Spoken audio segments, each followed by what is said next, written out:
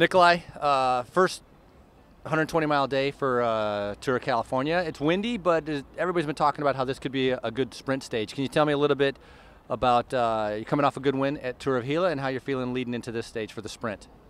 Oh well, I definitely feel very confident after my win in uh, in Tour of the Gila, and I know uh, here it's going to be a lot harder competition, but but I'm I'm confident that I can maybe be a top five or top ten, and and I'll be happy with that. Um, I've had some good form lately, uh, some good training in Santa Rosa before this, uh, so I'm ready definitely.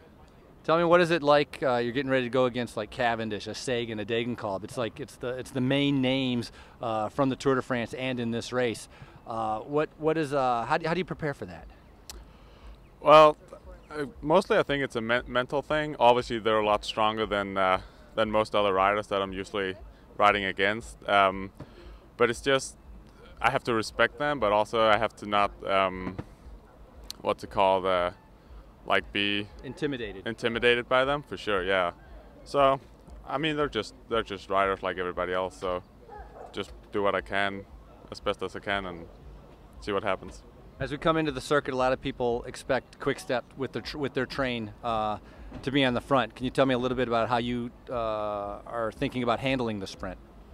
Um, yeah, for sure. Uh, I think uh, some of my teammates are going to set me up for sure um, with two or three or four k to go, and then after that, uh, I mean, obviously we don't have a strong as a lead out trainers like uh, Quick Step or uh, or Cannondale. So for me, I think I'm gonna like get on one of their wheels and um, just hope they can take me to the front and then just sprint as hard as I can.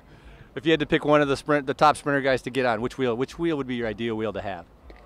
Well, Quickstep is usually pretty good at setting up Cavendish, so you're gonna follow Cav. So I'm gonna try to follow Cav. I'm sure there's gonna well, be a lot of fighting for that wheel, but along with 180 other guys. So good luck. Yeah. Oh, thanks, man. All thanks. Right, thank you.